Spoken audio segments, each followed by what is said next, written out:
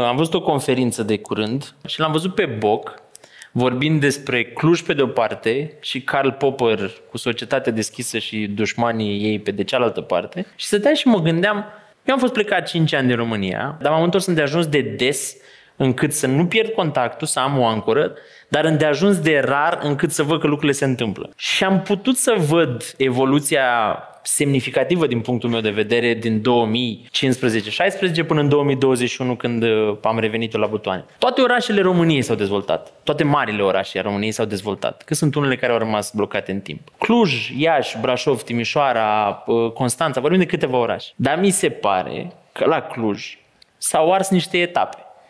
Adică Bă, s-a întâmplat ceva acolo. A existat un catalizator care a grăbit un pic pașii ca idee. Noi la Iași în continuare suntem în uh, episodul punem iarbă în fața blocurilor, uh, floricele, adică asta e dezvoltarea. La Cluj mi se pare că un pic s-a mers pe repede înainte și întrebarea mea e care e catalizatorul? Dar te rog să nu spui că boc.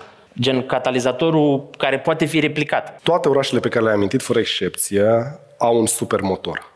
Toate doar că al Clujului e mai mare, universitățile. Clujul are cinci mari universități de stat, are cea mai mare universitate din România acolo, Babeș-Bolyai, are Universitatea Tehnică, USAMV-ul, deci medicină veterinară, medicină, Academia de Muzică și e principalul garant a succesului. Nu poți fără asta. Adică Clujul atrage tot ce e mai bun din zonă și nu numai și de peste Carpați. Impactul a cinci mari universități de stat într-un oraș cu doar 300 și un pic de mii de locuitori e foarte mare. E mult mai mare decât îl ar avea în București, un oraș cu 3 milioane de locuitori, de exemplu. Ce s-a întâmplat totuși? Știți, noi clujeni suntem foarte consecvenți. Noi asta cu funar până ne-am săturat. Nu conta că făceam numai bănci, ca să vedem și latura aia alta, să fim onești cu noi. Uh, făcea băncile cu roșu, galben și albastru și cam mai era tot și am stat, am tot votat la nesfârșit. Când a venit Boc... Trăim și noi la așa același lucru.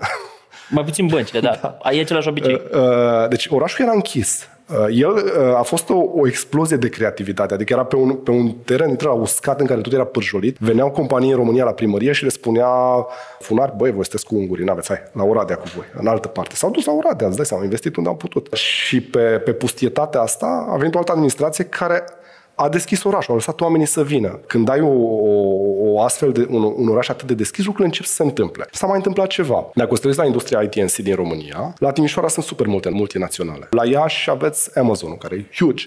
La Cluj e foarte multă industrie autohtonă local. Sunt foarte multe companii cu capital românesc. Ei, ăștia se implică în comunitate și nu e doar domeniul ITNC. Ăstora le pasă, adică ei zic, nu sunt centru de cost aici, chiar nu fac marjă mică și profiturile mi le scot în altă parte. Eu am de investit în comunitatea asta că și peste 20 de ani tot aici mă prind, tot în Cluj mă găsești. Și atunci mă și mai responsabil cu ce se întâmplă în jurul meu și te începi să te duci la primărie mai des, începi să te duci la instituția X sau Y mai des, începi să investești în ONG-ul X sau Y uh, mai mult ca să ajuți comunitatea. Și atunci comunitatea crește. În plus, profilul cultural al orașului ne ajută. Adică sunt 16% maghiari sau 19% că sunt maghiari. Destul de cosmopolit în zona universitară. Avem foarte mulți studenți străini care vin acolo și din zona Magrebului și din Franța și așa mai departe, din alte țări din Europa. Și asta a creat o comunitate destul de strânsă care a evoluat împreună, că ne-am sprijinit unii pe alții. Riscul Clujului e, eu le mai spun când mai merg, băi, suntem foarte buni, ok, toată lumea se uită la noi că suntem extraordinar de buni. Să nu cumva să ne închidem, să suntem atât de buni încât să ne închidem în raport cu ceilalți, pentru că avem ce să învățăm și de la Iași, și de la București, credem, avem ce să învățăm de la, de la fiecare dintre noi. Dar asta a fost succesul Clujului. Adică o industrie locală în general care s-a implicat și care a avut cu cine să vorbească. De asta e important și Buc, adică vorbeau cu pereți înainte. Au avut cu cine Doar să vorbească. Doar că nu putem replica, de aia ți-am zis să nu zici Buc.